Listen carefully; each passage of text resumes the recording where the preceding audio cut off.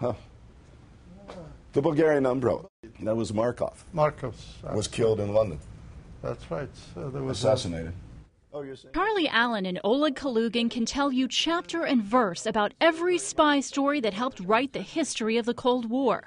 Not because they read them, because they lived them.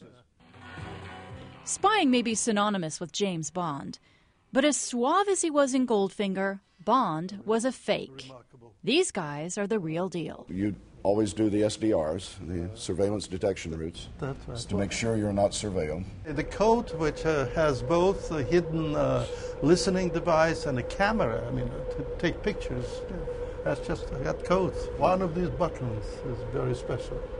A revolver on your ring finger, or a single shot inside a fake tube of lipstick, right under your nose, even under your feet. The shoe with the hidden transmitter. As a CIA employee, Charlie Allen made a career out of espionage, rising up through the ranks of the agency for more than four decades. Oleg Kalugin was his adversary, Yeah, that's his. Actually, that's his wife. Uh, a former KGB general who became chief of Russian counterintelligence. For both men, walking through the International Spy Museum in Washington, D.C. is like walking back through time. That was tremendous. Uh, according to records, official records, you were able to decipher 2 million yeah. uh, U.S. Navy than two classified, million me- more than 2 million U.S. classified messages. That's right. That was pretty thanks stunning. That, that was stunning. While you may think the one time rivalry between the U.S. and Russia is long past, you need only remember back to last summer when the FBI arrested 10 suspected Russian spies. They weren't put on trial. Instead, they were swapped for four Russian prisoners who'd been accused of spying for the U.S. Can this really still be happening? It is classical Russian espionage is to run illegals, whether it's in the United Kingdom or whether it's here in North America. They do it, and they, they they'll continue to do it. I have every reason to believe that. Uh, but illegals were, had, had a very special mission, uh, it, just to prepare grounds uh, and conditions for operations if the war, I mean, between the United States and the USSR was imminent.